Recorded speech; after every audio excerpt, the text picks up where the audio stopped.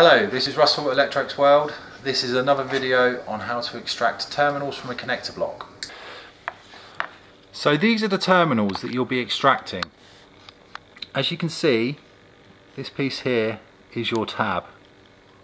The aim, when you're pulling the terminals out, obviously you won't do it like this because they'll be in the block, but you want to get that flat like that as flat as you can get it and then it should just pull straight out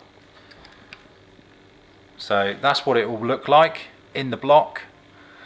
And that's what it will look like when it's out of the block. With that bit there probably slightly flatter it will probably be like that.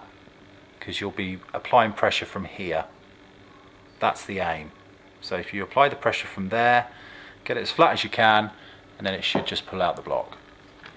So with a thin screwdriver or a thin pair of pliers got to press the terminal down flat. So you put the screwdriver in.